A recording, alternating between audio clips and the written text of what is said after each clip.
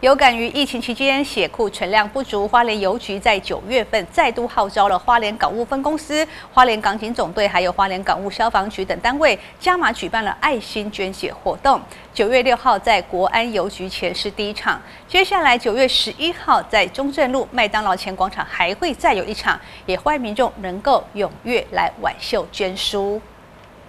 有感于疫情期间血库存量不足，花莲邮局在九月份再度号召花莲港务分公司、花莲港警总队、花莲港务消防局等单位加码举办了爱心捐血活动。因为这一次疫情大爆发以后，我们的医院的血库都闹血荒，所以我们特别在这一次，我们邀请我们高雄港务分公司，还有我们港务总队，还有我们消防队。一起来扩大举办这个活动，希望透过这个活动，能够请我们的花莲乡亲一起来踊跃参与捐血这个活动。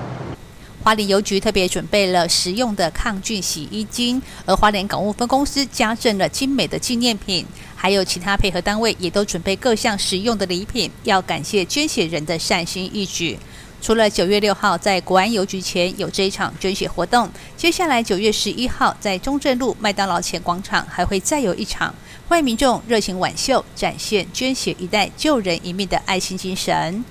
谢瑞会换是报道。